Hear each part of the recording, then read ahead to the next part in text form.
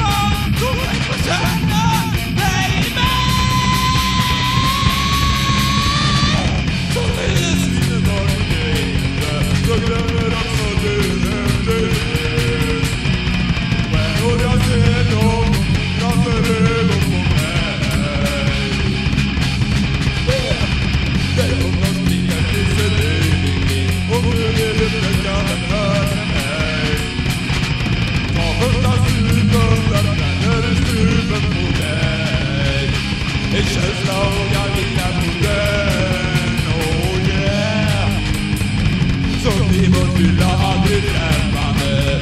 Yeah!